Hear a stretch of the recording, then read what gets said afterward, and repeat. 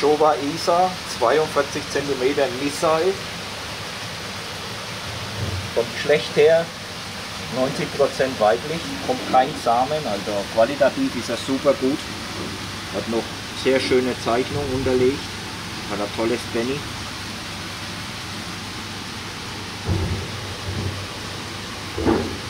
Also hier müssen wir abwarten, was es tatsächlich ist.